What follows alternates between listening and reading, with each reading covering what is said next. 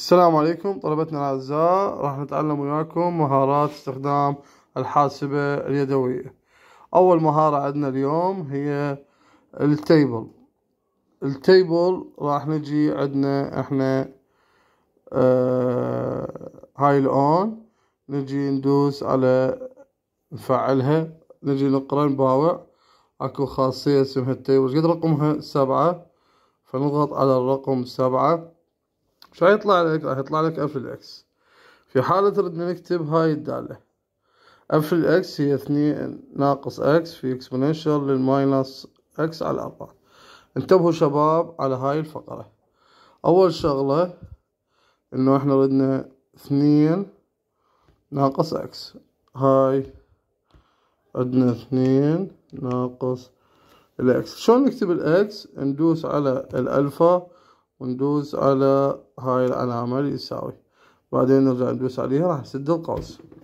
مضروبة في exponential بما إنه عندي ال ln فأريد exponential عندي ال ln هنا مرسوم ال ln أريد exponential إذا لازم أدوس shift.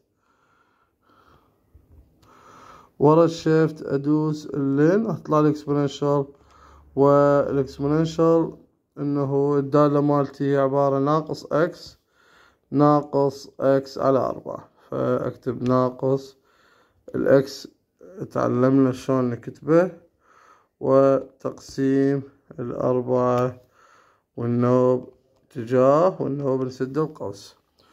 هنا انكتبت الدالة واضحة. أول شغلة إحنا قلنا نكتب الدالة واضح ورا ما نكتب الدالة واضح ندوس يساوي.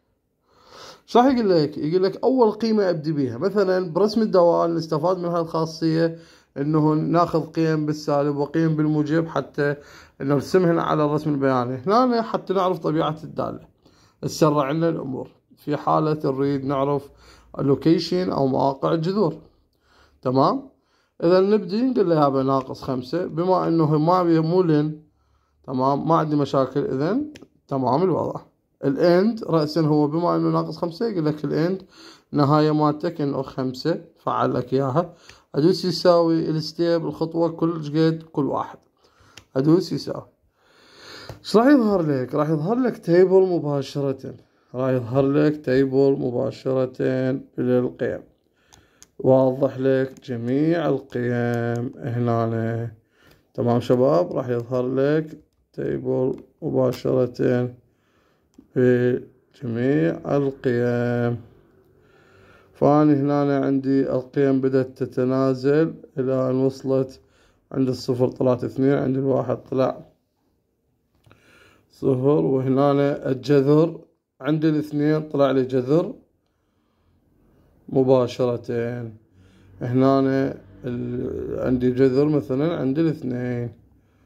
تمام؟ تحولت النوب عندي بالسالب. تمام شباب؟ أوكي. أنا هاي وضحت لكم اليوم أول خاصية بالمحاضرة الأولى وإن شاء الله نكمل بالخاصيات الأخرى. بالتوفيق.